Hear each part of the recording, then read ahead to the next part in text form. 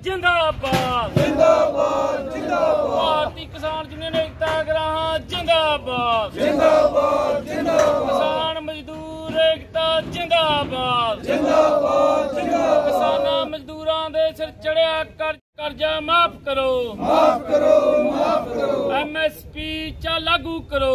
ਲਾਗੂ ਕਰੋ ਲਾਗੂ ਕਰੋ। ਭਾਰਤੀ ਹਾਕਮਾਂ ਦਾ ਵਜੂਦੀਆਂ ਦੀਆਂ ਨੀਤੀਆਂ ਚੋਂ ਬਾਹਰ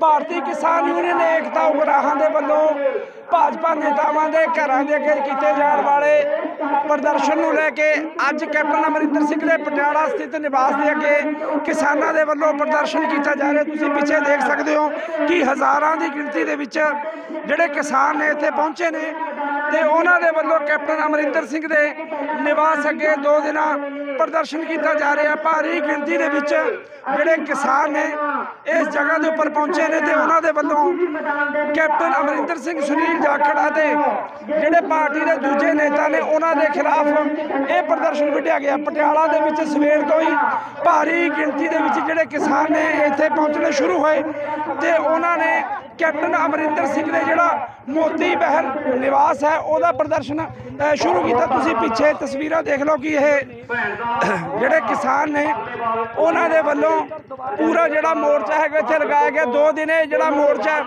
ਉਹ ਇੱਥੇ ਰਹਿਣਾ ਤੇ ਉਸ ਤੋਂ ਬਾਅਦ ਕਿਸਾਨ ਆਪਣੀ ਅਗਲੀ ਰਣਨੀਤੀ ਹੈ ਜਿਹੜੀ, ਉਹ ਤੈਅ ਕਰਨਗੇ। ਪਾਰਟੀ ਆਗੂਆਂ ਦਾ ਇਹ ਜਿਹੜਾ ਵਿਰੋਧ ਹੈ, ਅੱਗੇ ਕਿੰਨੇ ਦਿਨ ਜਾਰੀ ਰਹਿੰਦਾ, ਇਹ ਤਾਂ ਬਾਅਦ ਦੀ ਗੱਲ ਹੈ, ਪਰ ਅੱਜ ਕੈਪਟਨ ਅਮਰਿੰਦਰ ਸਿੰਘ ਦੇ ਘਰ ਦੇ ਅੱਗੇ ਭਾਰੀ ਗਿਣਤੀ ਦੇ ਵਿੱਚ ਜਿਹੜੇ ਕਿਸਾਨ ਨੇ, ਉਹ ਪਹੁੰਚੇ ਨੇ ਤੇ ਉਹਨਾਂ ਨੇ ਇਸ ਪ੍ਰਦਰਸ਼ਨ ਦੇ ਵਿੱਚ ਹਿੱਸਾ ਲਿਆ। ਉਗਰਾਹਾ ਜਿਹੜੇ ਜਥੇਬੰਦੀ ਦੇ ਜਿਹੜੇ ਪ੍ਰਧਾਨ ਨੇ, ਜੋਗਿੰਦਰ ਸਿੰਘ ਉਗਰਾਹਾ, ਉਹ ਵੀ ਇੱਥੇ ਪਹੁੰਚੇ ਸੀ ਤੇ ਉਹਨਾਂ ਨੇ ਇਹ ਗੱਲ ਕਹੀ ਹੈ ਕਿ ਅਗਲੀ ਜਿਹੜੀ ਰਣਨੀਤੀ ਹੈ, ਭਾਜਪਾ ਨੇਤਾਵਾਂ ਦੇ ਵਿਰੋਧ ਦੀ ਜਾਂ ਸਰਕਾਰ ਦੇ ਵਿਰੋਧ ਦੀ, ਉਹ ਕੱਲ ਨੂੰ ਐਸਕੇਐਮ ਦੀ ਮੀਟਿੰਗ ਤੋਂ ਬਾਅਦ ਤੈਅ ਕੀਤੀ ਜਾਊਗੀ। ਜਿੰਦਾਬਾਦ।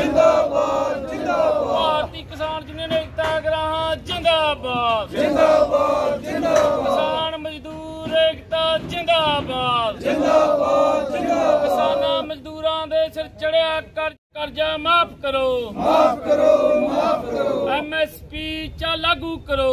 ਲਾਗੂ ਕਰੋ ਲਾਗੂ ਕਰੋ। ਭਾਰਤੀ ਹਾਕਮਾਂ ਦਾ ਵਜੂਦੀਆਂ ਦੀਆਂ ਨੀਤੀਆਂ ਚੋਂ ਬਾਹਰ